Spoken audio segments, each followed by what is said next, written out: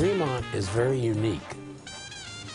It was born out of five established communities. They were just little farming communities. They came together and, and incorporated as a city. And at the time that that happened, the, the total population of the five was about 20,000. It grew fast and it grew mostly residentially.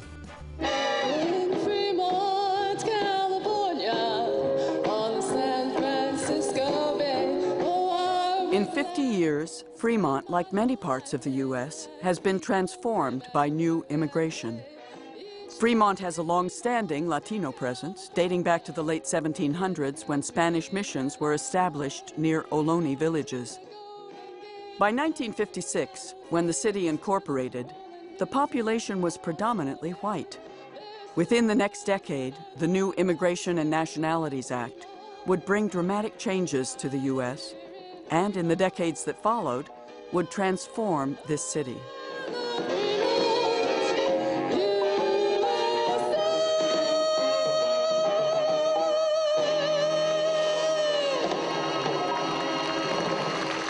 Starting in the 80s, we all of a sudden transitioned into a city of great diversity. There were incidents, there were things that shouldn't have happened, but by and large, it happened uh, in, a, in a very smooth way.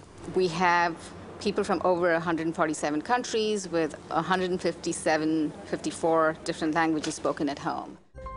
In the 1980s, the Silicon Valley was booming, bringing new technologies, new businesses, and new citizens to Fremont.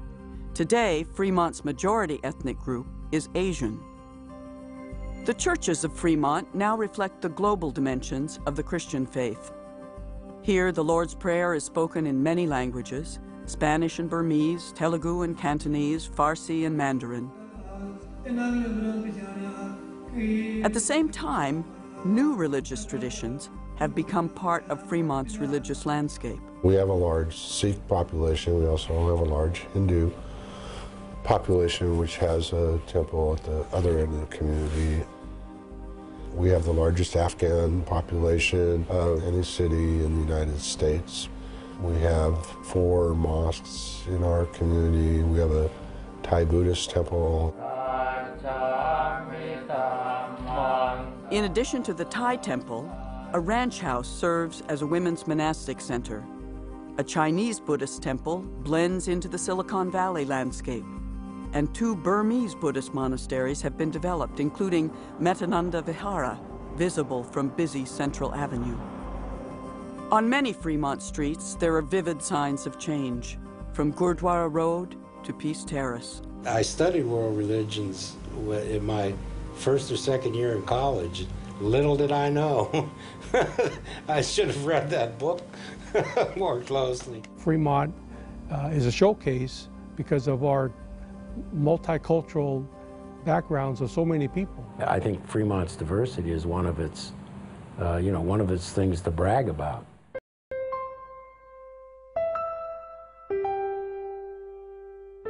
The dramatic transformation of Fremont's religious landscape began in the 1980s when Buddhist, Hindu, Muslim, and Sikh communities first established places of worship.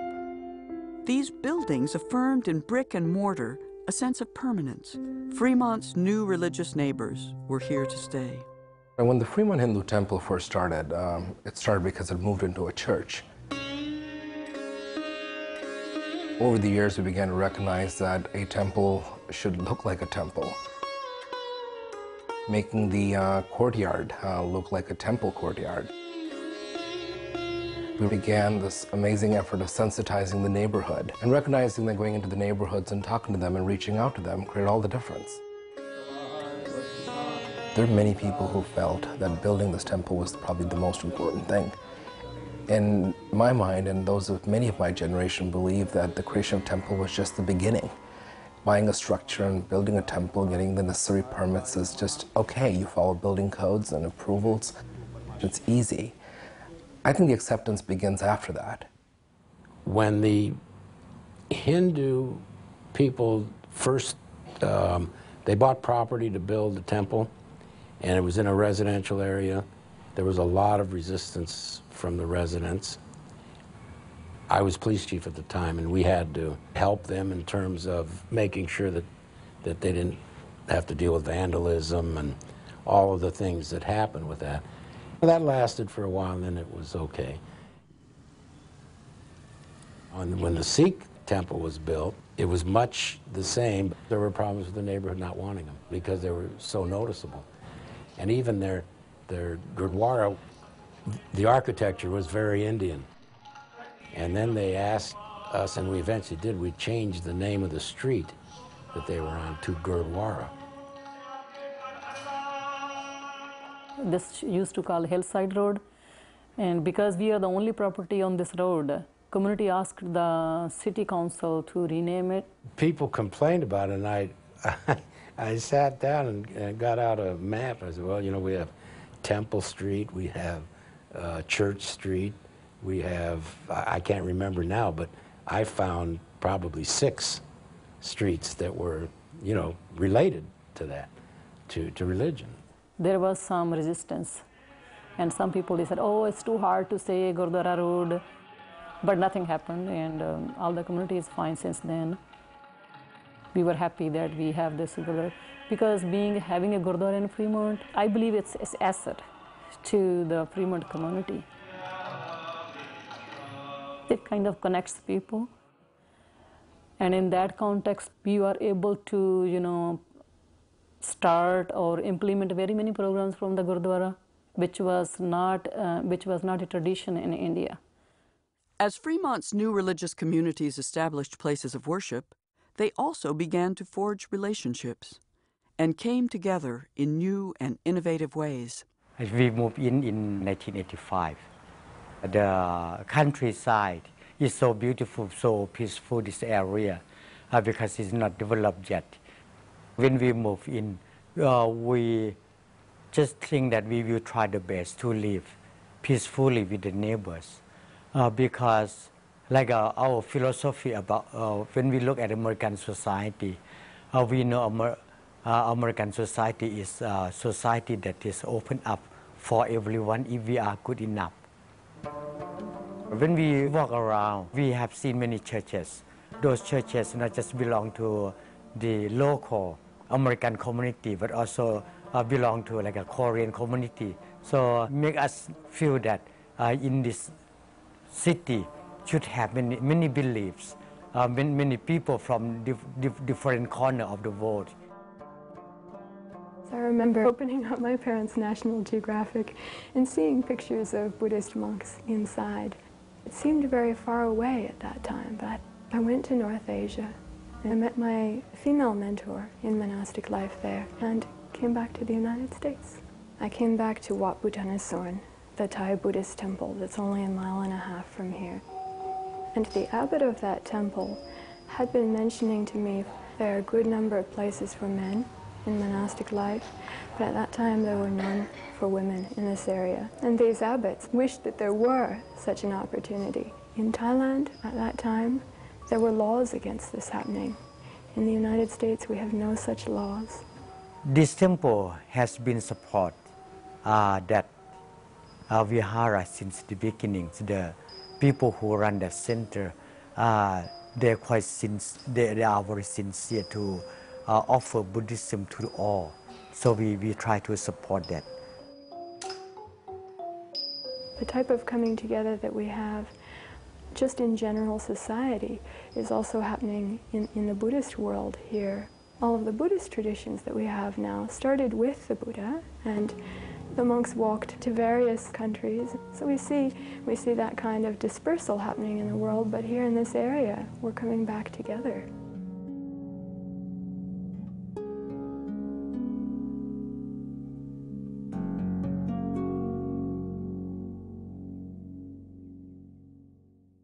Think a lot of people had just assumed it would be two churches. No one ever envisioned that it would be a mosque coming in Tibet. St. Paul was looking for a place to put a permanent facility, and I saw this property, and at the time the city was going to sell it. to do like a 7 Eleven type shopping center. The neighborhood across the way over there got really upset about that. And the city said to them, if you can figure out a way to build a park over there, because that's what the citizens wanted, they wanted a park. Um, if you can figure out how to do it without it costing the city anything, because we're not going to pay for the park, uh, then you go right ahead. So I called up the citizens group and said, would you consider letting the city sell part of the land for a church and use the proceeds from that to build the park? And the end result was that they offered two parcels so that the proceeds would in fact pay for the park.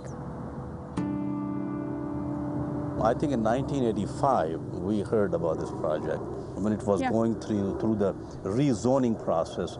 At that time, the practice was Muslim community will get together, they'll buy an old church or an old building, and they will call it Islamic Center, and they will have you know Friday prayer and, and convert that place into a mosque, which is not really look like a mosque. And it was a great desire of the community to have a real mosque in this area. The city is the one who set it up.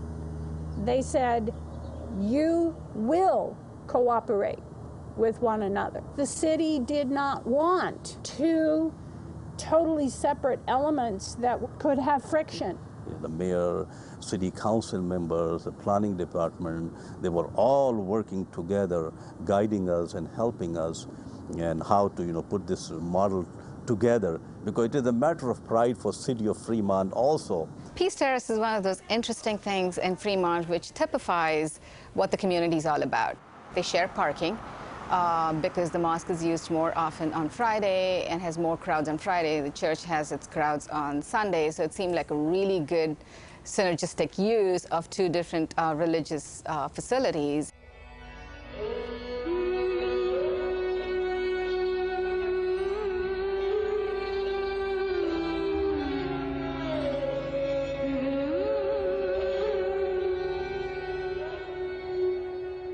Our congregation, the biggest congregation, is on Fridays, and you will not see any car taking space from the church side.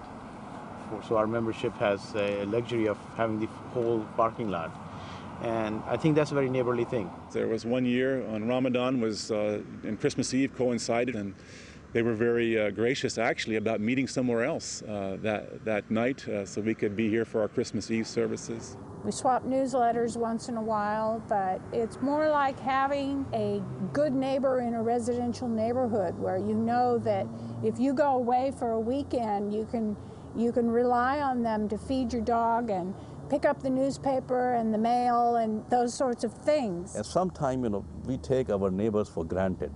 So I guess that's another problem we have. You we say, oh, they are here, they are there. So it's not that important to communicate with them today. Maybe you can communicate with them tomorrow, and that tomorrow never comes. Uh, but sometimes if I want to see Reverend, I will go and see him.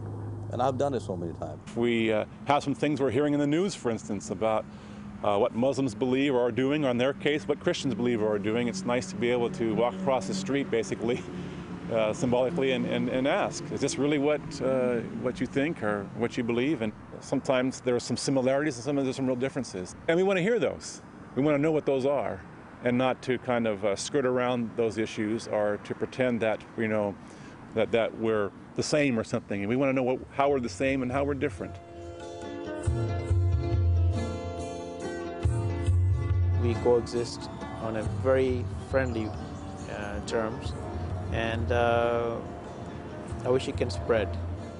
The name Peace Terrace is a perfect name for this for this place, and it's also a prayer that we might really not only know peace here, but to know it in our community and in our world and our families.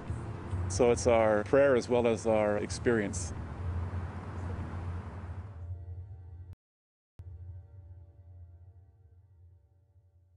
From Peace Terrace to City Hall, Fremont is moving from mere diversity to true engagement. City government has played a positive role ever since I've been in Fremont. I think they've always uh, tried to make sure that uh, the various ethnic groups that are here uh, live here peacefully and that everybody is accepted. I feel like Fremont has been very welcoming.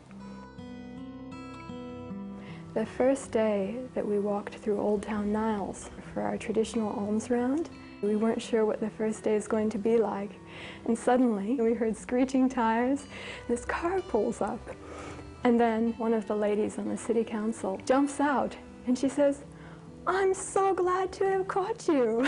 I really wanted to meet you on your first morning out and say congratulations. Yet amidst rapid change, the city has also faced real challenges.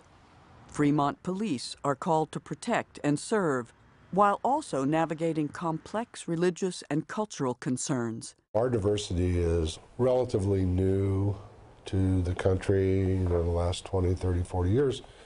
And so their customs and cultural norms are very strong, and you know we have to learn what those are. But you have to find a balance between respecting the cultural norms of somebody that's that's come to the United States, balanced with our culture.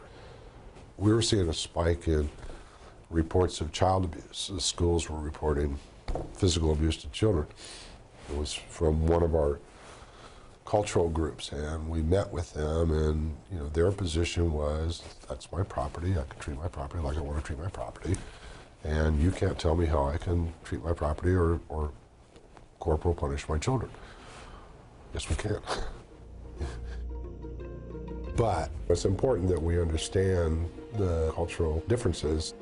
You know, we violated the temple by going in with our shoes on, and I did meet with all the members of our community that have a religious or cultural norm of taking your shoes off. That included the imams at the mosque, the priests at the Gurdwara, the leaders of the Hindu temple, and the Thai Buddhist temple. And I said, look, if an officer's there on a routine call, then how do we get them inside if they need to go inside? I mean, we can ask them to take their shoes off, and some will, some don't have a problem with it. Others, we decided to buy surgical booties and they put them over their boots so we're not tracking dirt into a house of worship. But all of the leaders agreed because the way I put it to them was if you're in the temple and you're having a heart attack, you want us to stop, take our shoes off? You want us to come in. And to the person, come on in. Because there are exceptions in every religion to emergencies. I think if any police chief is going to have this kind of diversity or seeing this diversity starting to develop, they need to get ahead of the curve. They need to train their people up on it, bring in the experts, use community members, and understand that culture. We have a whole host of cultural institutions and organizations that play an active part in defining the city. And so we take all of that into account and um, have been doing a fairly consistent job of reaching out to these communities and involving them in the process we define our policies. Okay. Our employees are as diversified as the city is, and that was on purpose. We work to go into the uh, communities and recruited all um, public employees. Serving on the Fremont Planning Commission, we make decisions about homes, we make decisions about zoning, we make decisions about religious institutions. Um, there have been a number of religious institutions over the years that have been approved. And I would always like to think of myself as a planning commissioner serving the interest of all of Fremont. Um, I happen to be from India. I happen to be a Hindu, but I happen to be a resident of Fremont first and foremost. Any discussion? No? Uh, I just had one thing. Uh, the nonprofits of Fremont residents of all faiths play leadership roles in the city, from the city council to the various commissions and boards. The Human Relations Commission, with Jewish and Muslim co chairs, is called upon to promote unity, to coordinate human services, and to respond to hate violence. I'm doing the same project, so. The commission focuses on the diversity of our community and the both positive and negative things that happen when you bring people from different cultures together.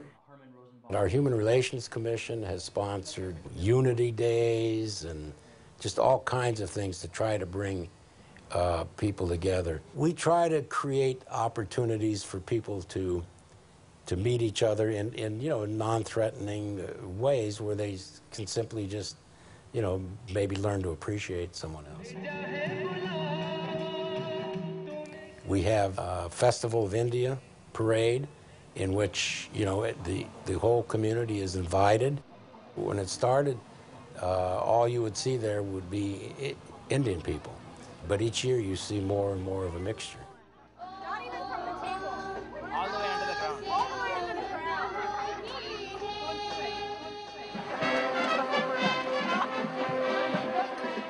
Yet some attempts at cultivating unity have created controversy. When City Council member Steve Cho and the Human Relations Commission proposed including the flags of other nations in the 4th of July parade, many citizens angrily protested. I've been involved with the July 4th parade since its inception in- Fremont. And over the years, I was kind of disappointed at the turnout. And so I thought perhaps because of our diversity and, and the people who really do not know what July 4th means to people in this country, in order to engage them to understand the significance of July 4th, why don't we invite them to participate in some way? We did um, flags around the world um, entry. And some people were very upset with that because they were saying that, you know, this is our country and this is our 4th of July and we should not bring other flags. It really polarized the community because there were many people in, in this community that felt that, um, that on July 4th, it's strictly red, white, and blue. There were a number of articles directed at me. The one phrase that, that, that I won't forget is um, that I should go home. Take your flags and go home. Well, where is home to me? Home to me is Los Angeles. That's where I was born and raised. Yes, it did create a lot of controversy. But I think in the long run, it was much to do about nothing because the end result was to try to get more people involved and more people to, uh, to come and watch the parade. And it did achieve that purpose. And depression and falling. What about depression? What, what service did But you the problem of integration goes deeper than just increasing attendance at the 4th of July parade. The Human Relations Commission found that one of the most isolated populations in Fremont was foreign born senior citizens. The City of Fremont Human Services Department wanted to find ways to um, better serve ethnic and faith communities. Is this a pure counseling senior or is this a senior who needs something more? With um, the changing demographics, um, there are a lot of challenges. The Family Resource Center opened about eight or nine years ago. It's really important to work with our different faith-based organizations to identify leadership, to find out what their interests are in serving their older adults, and then allow them to create opportunities in their own communities to support their own elders. There are so many people who lose their identity. I was this, I was officer, people used to talk to me like this. But when they come here, they find it everything different because they are depending on other people.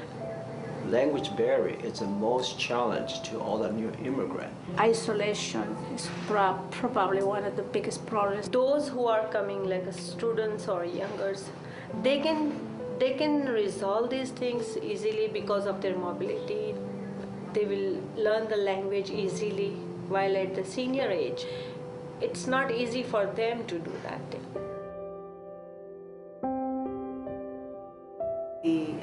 Afghan community actually had a need for a laptop computer, and the Taiwanese community um, saw that they needed that, so they actually gifted a computer to them. They may have never met each other if it weren't for some of these programs that we're developing, but they're actually coming together, learning from one another. When I heard the Taiwanese community talk about their things, I felt that they are from the same place that I'm coming from. I mean, they are so much close to us, and even the Presbyterian Church. I mean, like mental health issues being a taboo. They said it's a taboo in their community as well. So there is a lot of similarities, and that brings you together. You, you don't see people as different. But not everyone in Fremont takes the time to engage with their neighbors, and the city does grapple with hate related violence. It is an issue the Human Relations Commission works to address, Fremont has taken that stance of, of creating a Human Relations Commission which deals with some of these issues, who work with the community, have forums to deal with issues such as hate crimes in schools, hate crimes in the city. In 1997, there was an incident at the main library here in Fremont where a, an African American sixth grader went to do a project. And he pulled out a book on Martin Luther King Jr. and found it was full of uh, racist graffiti. That was followed by a community-wide march that brought together various aspects of the community. I think that was really the first time that we formed a coalition. The next incident was the graffiti attack at Temple Beth Torah. In January of 2000, there was a very virulent anti-Semitic and racist attack. There was death to Jews, six million wasn't enough, things like that. That night, we had our normal Hebrew school um, kids, and um, one of the one of the teenagers, I can't even recall who it was. One of the teenagers uh, said, um, "Somebody wants to kill me, and they don't even know me." Several years ago, the temple uh, was, uh, there was some graffiti that was uh, swastikas that were drawn on the temple.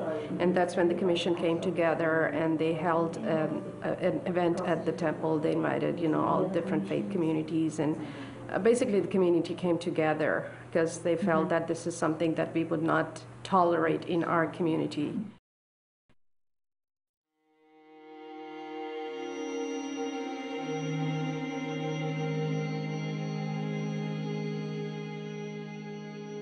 After 9 11, Fremont was challenged in new ways.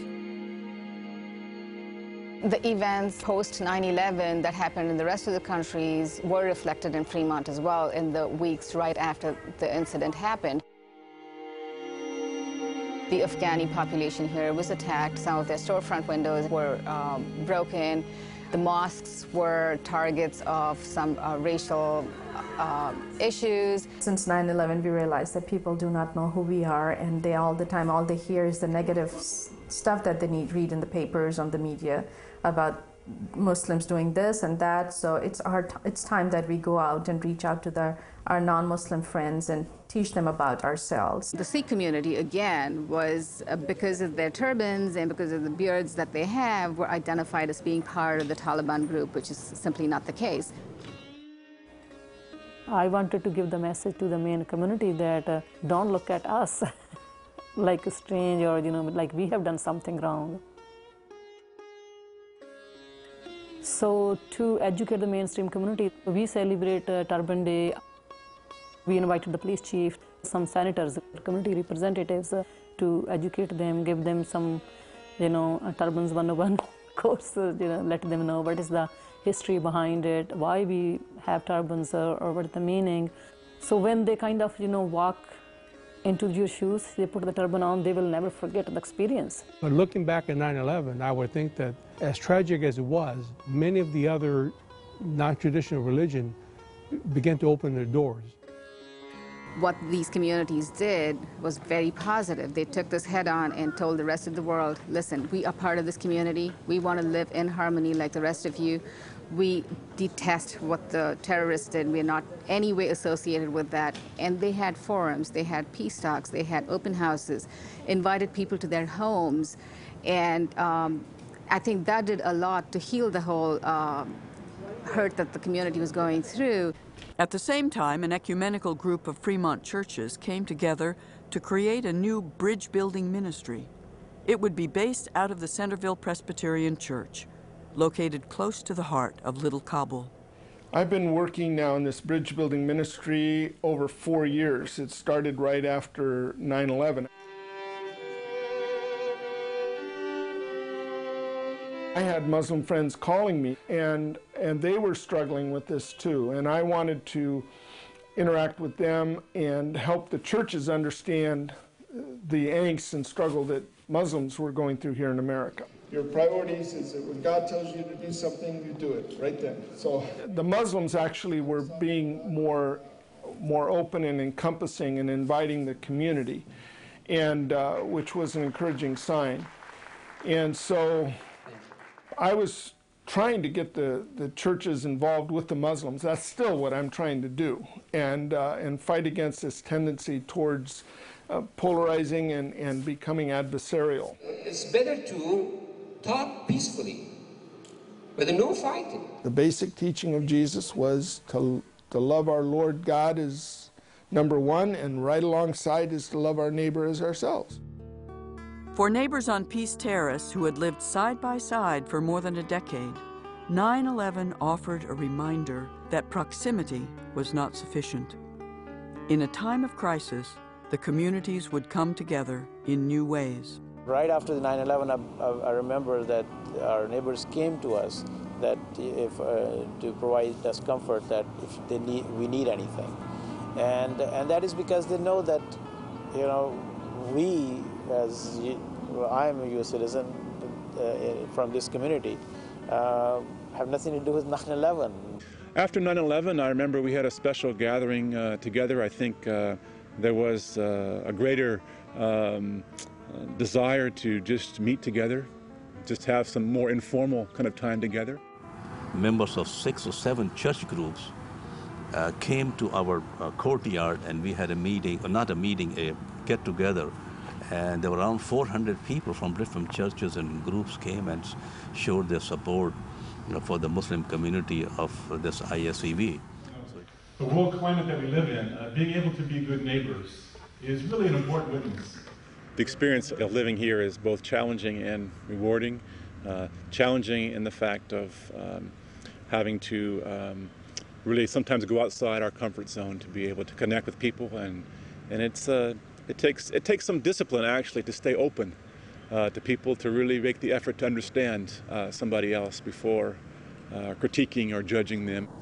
I think God wanted us to bring together two different groups, an example for other community. Here's a church, here's a mosque, and it's a beautiful concept.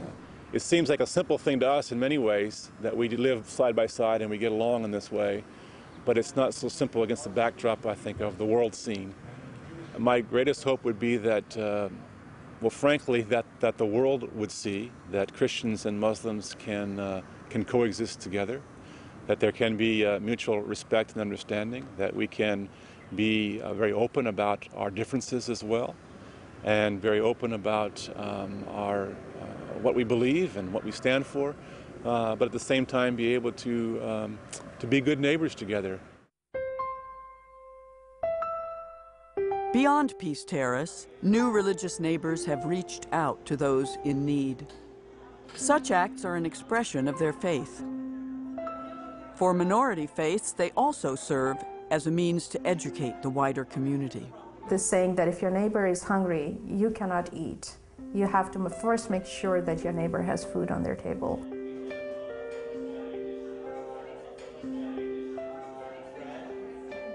Charity is something that's mandatory in Islam. Two and a half percent of your wealth you have to give to the poor across the board.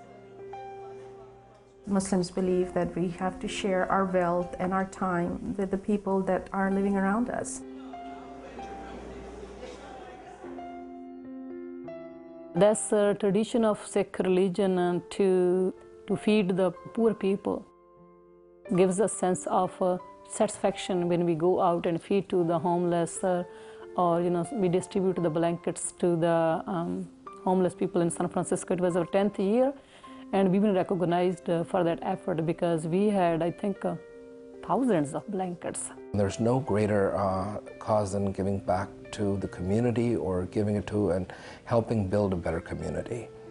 When we've done free health camps, uh, it's because the doctors are coming in and they're willing to give back their time and service for those that are underinsured. Underinsured is not merely a Indian or a Hindu issue uninsured is an issue that confronts entire communities. I mean, I think all religions teach these things, whether it be Christianity, Judaism, Hinduism, every religion teaches good stuff. But uh, sadly enough, our religion has been hijacked, and that's why we are on the defensive all the time. Once a month, the Islamic Society of East Bay cook during the day at home, or we get it catered, and we just bring it here and serve it we are enjoying the fruit. Everybody, all the immigrants. So we need to do our share also. It's a kind of works both way. helping the people out and also, you know, spreading the message that who we are.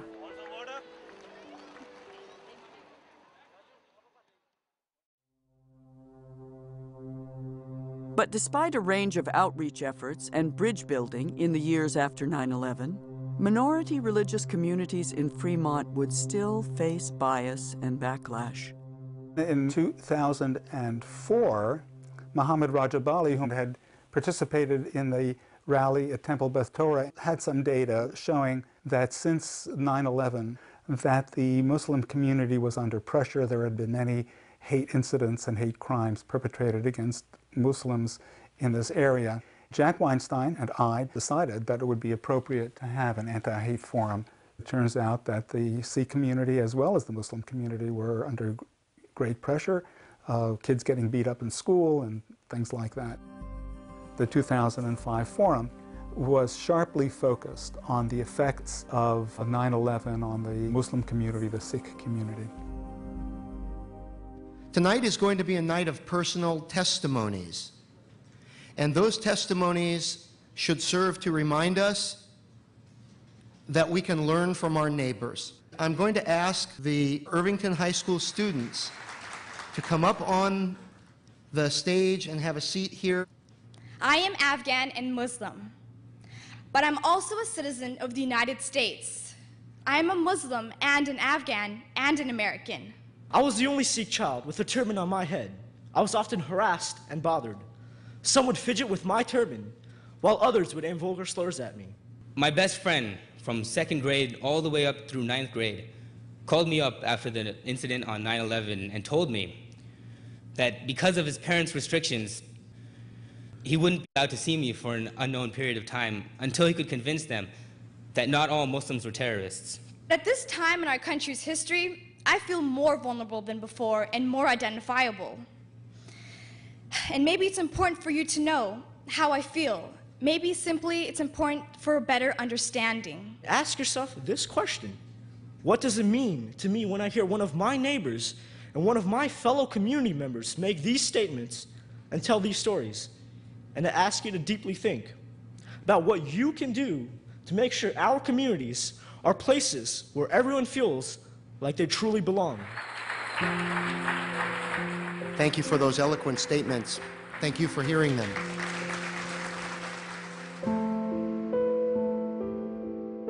The forum challenged Fremont as a community to stand together against hate and to hear the concerns of their neighbors.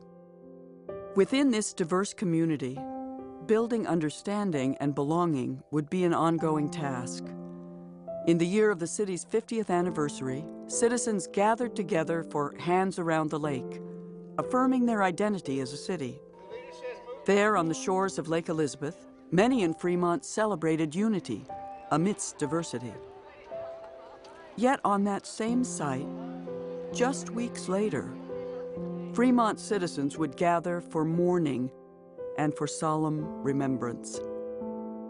This city, which had been tested before, would now be touched by tragedy.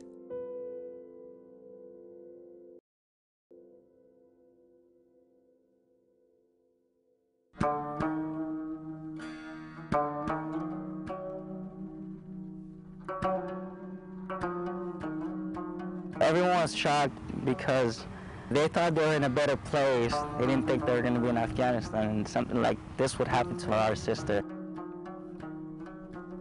The reason why we moved from Afghanistan was for protection.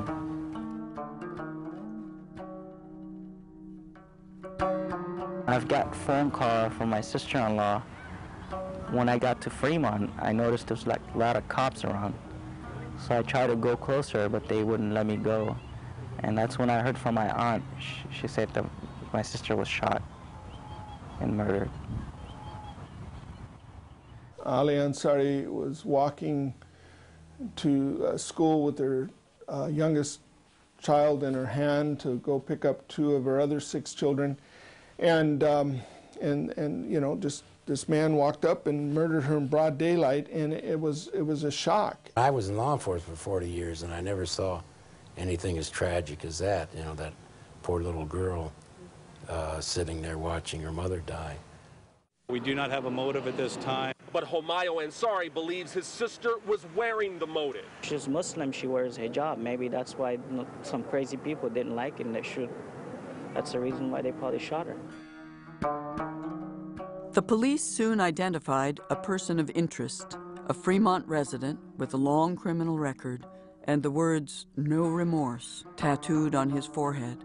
But the motive for the killing was not known. After the homicide, um, some of the community members who were the job were concerned would they be targeted and what we tried to point out based on what we knew this was had nothing to do with this was not a cultural crime this was not a hate crime this was a surely a random act we have a person in custody When I found out that she was shot in the mouth, like at close range, and the child was with her, so kind of figured out that it, to me, it was a hate crime. My nine-year-old, actually, she's 10 years now, and she's afraid. She thinks that if she starts wearing the hijab, she will be killed because Alia Ansari was killed. And kind of um, opened my eyes and my thought process that, uh, you know, if somebody can do that to Alia Ansari, they can do that to me also. The underlying cause of it is not really known. However, it had the effect of a hate crime. That is, it terrorized um, the entire community, and terrorized certainly the Muslim community, uh, because the immediate assumption is that the, the, the, the, only reason that, that Mrs. Ansari was killed is because she was wearing a, a hijab and was easily recognized as a Muslim woman. Amidst shock, fear, and grief, many in Fremont wondered how to respond. When the graffiti appeared, and these taggers were evidently young, um, emotive Afghans who wanted to make a statement. And here at the church, they did her name, Alia Ansari, in, in three foot high letters, R.I.P. And the church, just kind of as a grassroots response, some little old ladies decided to uh, put up a wreath instead of, oh, just paint it over. They wanted to identify with the, with the angst and the agony of the Afghan community. And there it stood. And these two guys drive up, and they were dressed very nicely. It was the first day of the Eid. And so I, I greeted them. They introduced themselves from the Islamic Center of the East Bay. And they came, having heard about the graffiti, to offer to remove it. It was a very nice gesture, and I thanked them for that. And I also then explained about the wreath. We just put the wreath up there. It was, uh, I call these moments kind of divine uh, appointments. And there, there it was. Um, and we talked about the principle of returning a blessing for the curse. The city responded by reaching out to the family and to the Muslim community. I visited the family the next day. We held a memorial in, uh, in Central Park. And we tried to do, you know, whatever we could. On Friday, they did the Muslim prayer at the park with the blessing of the city officials. That allowed her casket to be brought onto the public park property, which is usually not allowed. And it was a traditional Muslim prayer. It was a very peaceful day. It felt pretty good. The next day, a second memorial service was held at the Centerville Presbyterian Church. I offered the church gymnasium as a place to host a community memorial service. We are the neighborhood church, and this is a tragedy that, that impacts us all. Ahmed shows up with all six children.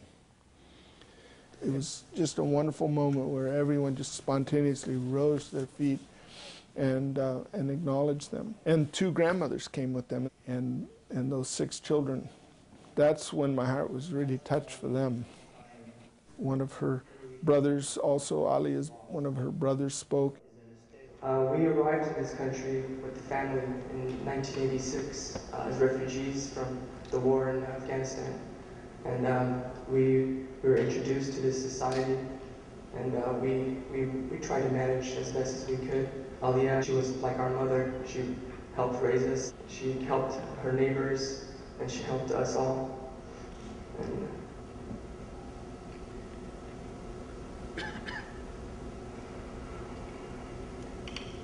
really without words.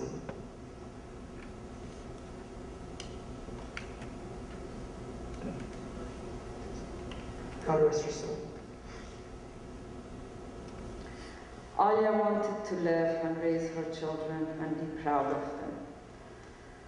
But this tragic incident cut her life very short.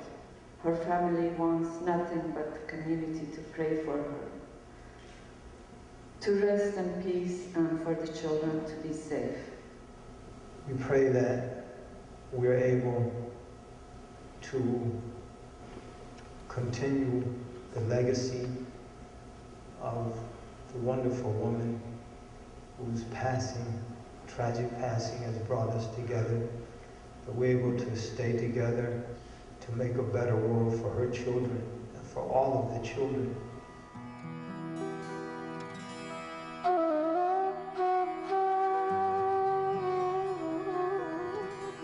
It's shaken people, some it's dismayed, uh, so they say this isn't the Fremont that I know and love. Um, but others have said, no, maybe we've been asleep and we need to get connected at a deeper level so that this sort of thing doesn't happen. So I think it's been a call to action and a call to alarm. A few days after the church memorial service, Aliyah's husband and six children left Fremont for Afghanistan. Aliyah Ansari was laid to rest in a graveyard in Mazari Sharif. Her children returned to the country their mother had fled 20 years earlier.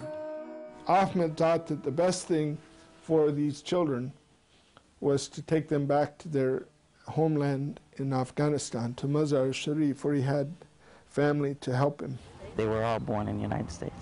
It's pretty new for them. It's probably a different environment also. Raised here and then it's like going back 30, 40 years behind. So it's kind of hard, but happy. I can't be happy uh, because my kids are not in a stage of happiness, so I cannot be happy. And uh, we're trying one day at a time.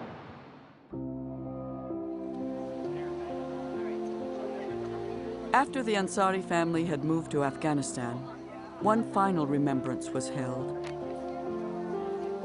On a rainy day in a Fremont park, citizens came together to honor the memory of Aliyah Ansari and to heal as a community. One of the things that we were all struggling with after the murder of Aliyah Ansari is uh, how we show support not just to the family but to the community at large and to all of the different minority communities that live in Fremont. And we just came up with the idea of doing something really simple like wearing a hijab or a turban and showing people that clothing is absolutely not a factor into deciding who the individual is. It goes much beyond that.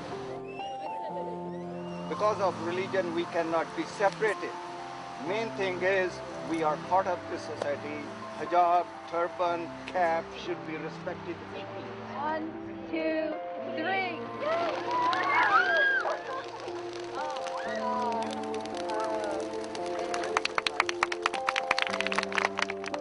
Just really touching to me to see all of these women who are American, you know, whether they're Jewish or Hindu, Catholic. They said, we are going to stand up for a community member in whatever way they could demonstrate. As the Ansari family adjusted to life in Afghanistan, they received a visitor. Bruce Green traveled to Mazari Sharif to let the family know they were remembered by their friends and by their neighbors in Fremont. The man accused in Aliyah Ansari's murder was tried and convicted. He was not charged with a hate crime. Now that the trial is over and the killer is behind bars, Ahmad Ansari is considering bringing his children home to Fremont.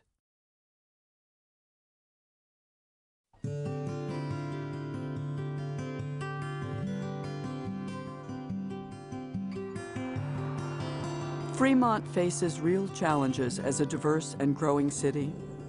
as it grapples with change, responds to crisis, and comes together across lines of difference.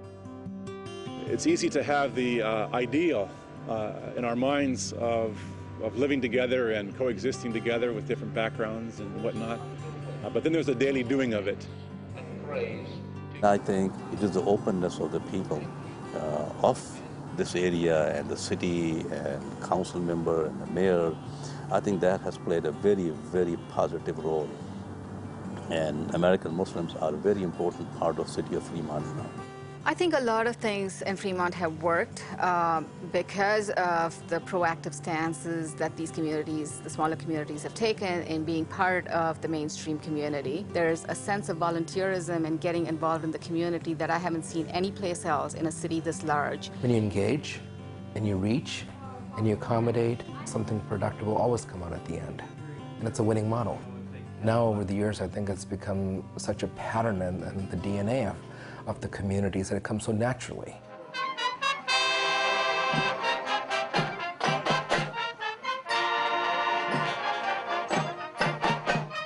In the decades since its founding, the city has grown and diversified in ways its founders could never have anticipated.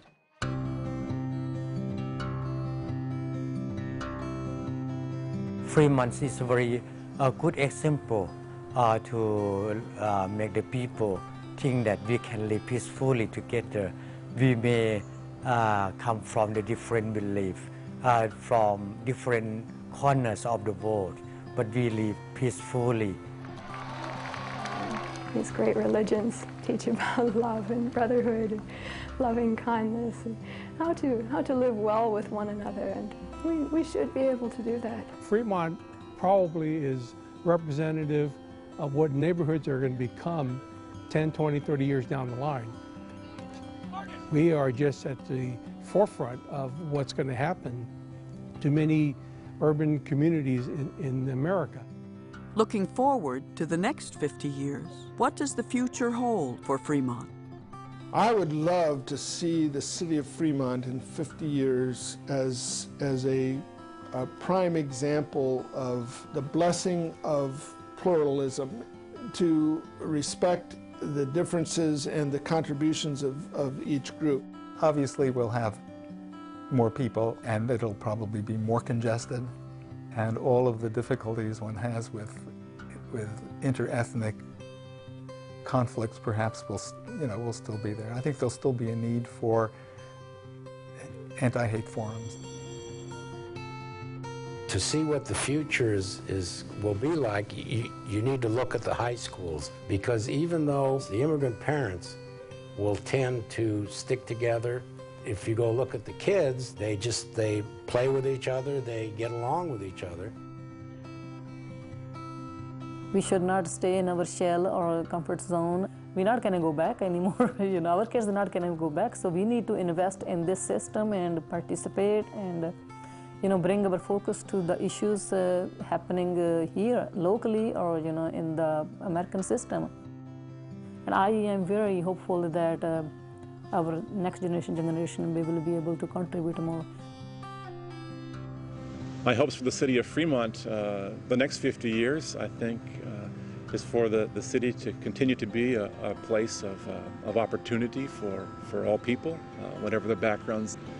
I think Fremont has so much to offer in some sense of, of how we move forward in this uh, increasingly shrinking world and, and how we uh, can respect one another but also um, be able to share who we are with integrity. Through civic leadership and interfaith action, strangers have become neighbors in this American city.